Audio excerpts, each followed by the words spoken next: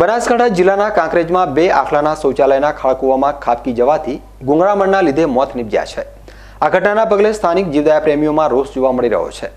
કાંકરેજ ખાતે આવેલા બુકોલિયાવાસમાં મંગળવારે બપોરના સમયે બે આખલા વચ્ચે લડાઈ શરૂ થઈ હતી અને જાહેર માર્ગ ઉપર આખલાઓના દ્વંદ્વ યુદ્ધથી લોકોમાં અફડાતફડી મચી ગઈ હતી. આખલા વચ્ચે લડાઈ ચાલી રહી હતી તે દરમિયાન આ બંને આખલા બાજુમાં તૈયાર થઈ રહેલા શૌચાલયના પતરા ઢાંકેલા ખાળકુવામાં ખાબકી ગયા હતા. આ ઘટનાના પગલે સ્થાનિક લોકોએ તાત્કાલિક થરા નગરપાલિકા અને ગૌશાળાને જાણ કરી હતી. પરંતુ થરા નગરપાલિકાની ટીમ ઘટનાસ્થળ ઉપર પહોંચે તે પહેલા જ આ બંને આખલાઓના ખાળકૂવામાં ગુંગળામણથી મોત નીપજ્યા હતા. ત્યારબાદ થરા પાલિકાની ટીમે ભારે જહેમતથી આ બંને આખલાના મૃતદેહને ખાળકુવામાંથી બહાર કાઢ્યા હતા. જોકે છેલ્લા ઘણા સમયથી થરામાં રખડતા પશુઓનો ત્રાસ ખૂબ જ વધી ગયો છે અને તેના લોકોને પણ શહેરમાં ભય હેઠળ જીવવું પડી રહ્યું છે.